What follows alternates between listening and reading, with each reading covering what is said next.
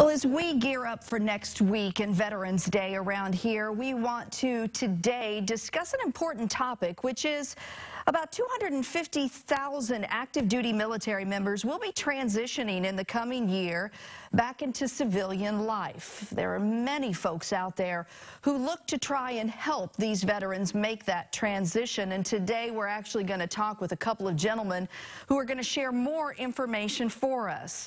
Clay Stackhouse is a former U.S. Marine Corps veteran and manager at Navy Federal Credit Union, and Christopher Plamp, a former U.S. Air Force veteran and CEO of Hire Heroes USA. Gentlemen, first and foremost, thank you for your service to this country.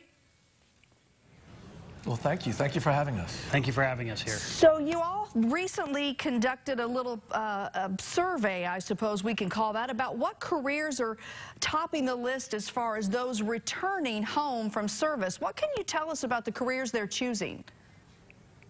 Well, yeah, at Navy Federal, we, uh, we serve veterans, and uh, you mentioned the 250,000 number. That's a lot of veterans transitioning out, right? And uh, I walk around and talk to the veterans, and we got a demand signal from them that uh, they're concerned about making the transition from the military into civilian life. Uh, it was a source of consternation. They didn't know where to turn, so we decided we'd do some research. So what we did was we contacted over a thousand of them over a year period of time.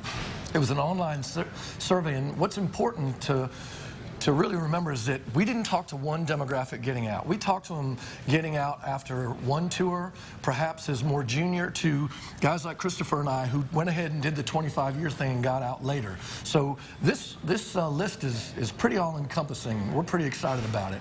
And one uh, of the one of the big things to realize about the list, and then I'll let them say the names, is that it was not just starting salary. Uh, we looked at what benefits the veterans get out of it, the veteran population in that industry. Are they actually hiring veterans?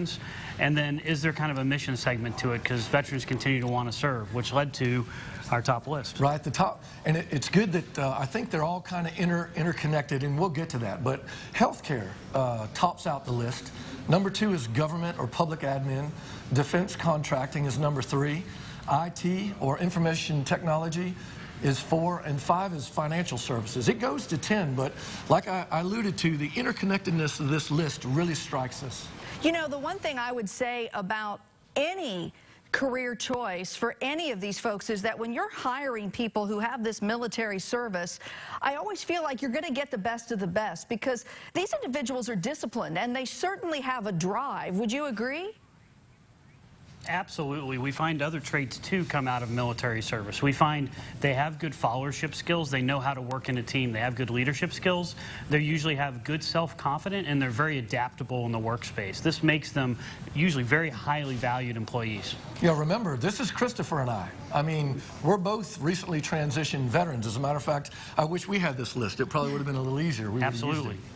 You know, when it comes to uh, your organization, Hire Heroes, I want folks out there who might be watching who maybe either themselves are looking or maybe they have a family member who will be making that transition. Can you talk about the services that you provide?